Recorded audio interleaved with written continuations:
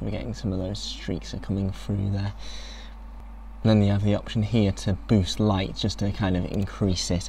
So I'm just going to put in a value of say 14. So we're now starting to see a lot more shine coming through on those um, on, on these pieces. So when it's fused, we should really only have um, well, we'll set a keyframe first for 14 to about here.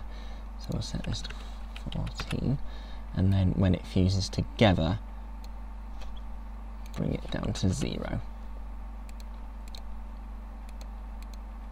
So we're starting to see the, the shine sort of really uh, come through. Maybe a little bit too much actually, we'll reduce this down to 9. There we go. So we've got some some bright squares there as it as it's coming through. So it makes it makes it uh, look quite interesting. And then just to finish off with, um, just to kind of improve the uh, improve the camera uh, position because uh, for the first few couple of seconds here there's not nothing really happening um, so we just want to basically get our camera set up at the start of the of the animation to where there's these cards in frame but they're they're starting to, to really come through. So we're just going to go back to the card dance effect go into camera position.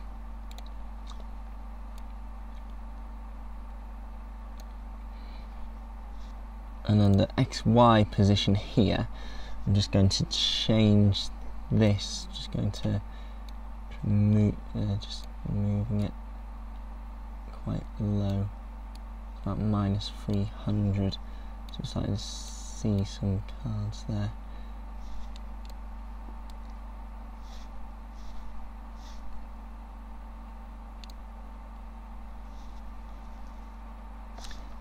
And then just zoom out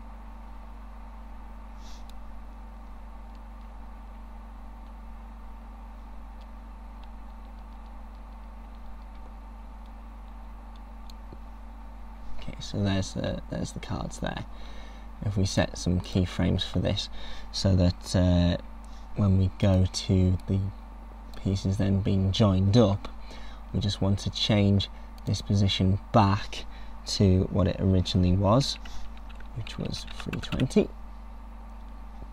And then Z position, zoom back in, zoom about 2.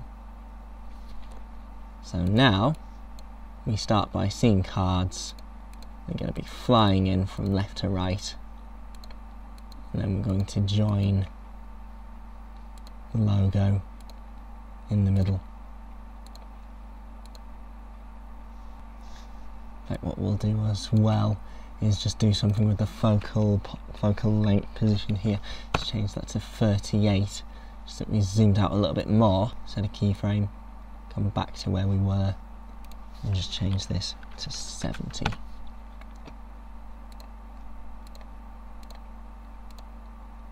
and then obviously you can um, play about with the camera a lot more as I did I, I um, in my composition I, I did play about with the camera quite a lot just to make sure that um, I was getting exactly the shot that I wanted. It's just a case of trial and error really, but we'll have a look at what it looks like so far.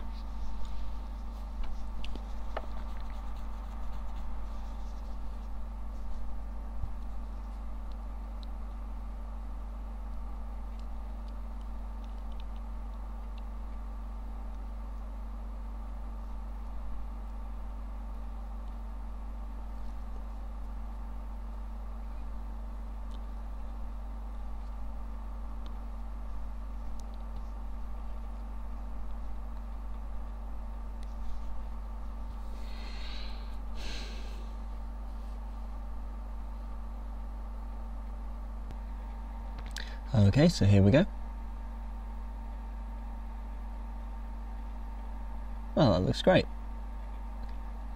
And as I say, just uh, towards the end of the animation, just keep keep the animation going, just so that there's uh, something interesting going on. Uh, move the camera around a little bit, maybe even uh, change the values of the of the uh, shine effect, just that it shines in and out a little bit, and obviously play about with the position of the of the cards. Maybe they need to, maybe a little bit spaced too far away there. Uh, they could be brought close together, but that's uh, that's looking uh, pretty good.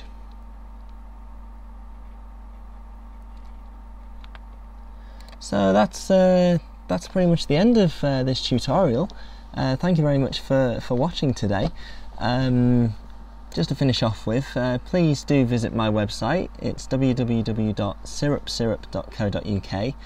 Um, it's basically just my portfolio, and um, I keep it up to date with with latest news and what's happening. And you can basically have a look around and just uh, see the kind of work that I do uh, in multimedia as a graphic designer and animator. Um, keep looking at Motion Design Love. There's always some great posts being put up there by Matt.